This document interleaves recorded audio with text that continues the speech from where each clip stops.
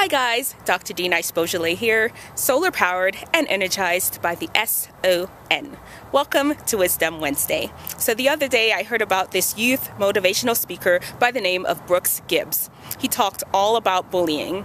And actually, the other day was Martin Luther King Day, and in reality, Martin Luther King fought against bullying. The blacks in America were being bullied by the white majority.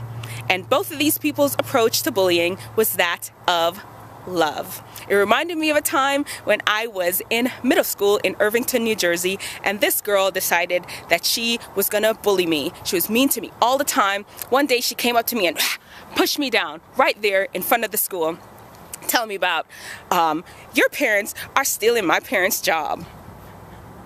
I didn't even know what she was talking about. I'm like, I'm, I'm a kid.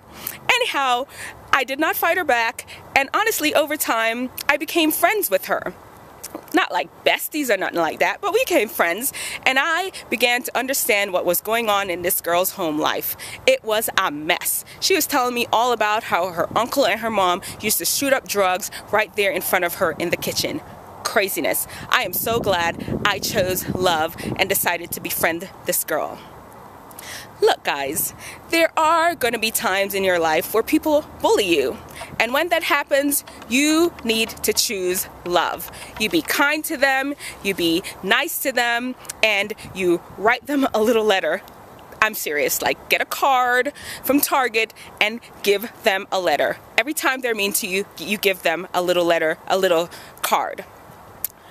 Wisdom understands that you cannot fight a bully with their same weapon of choice. You cannot out bully a bully, you cannot out plot a bully, you cannot out hate a bully because their issues run way deep.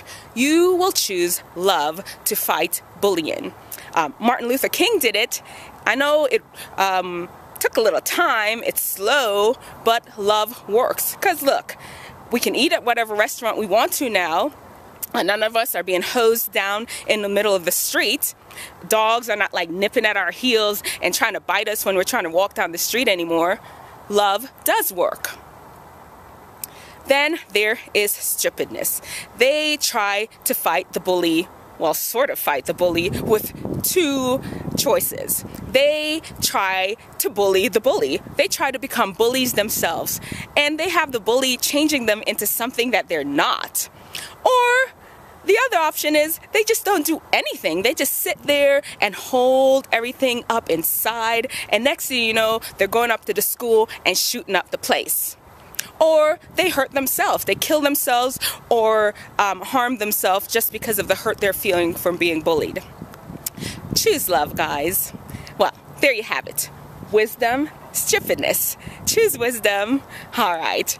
And um, remember, show me your brightest. Show me your best. Show me the latest guru. God's wisdom lets theirs look like stupidness. All right, if you have any ideas about bullying, let me know in the comment section below, okay? All right, if you liked it, like it. If you loved it, subscribe. And if you learned something, share. All right, bye-bye.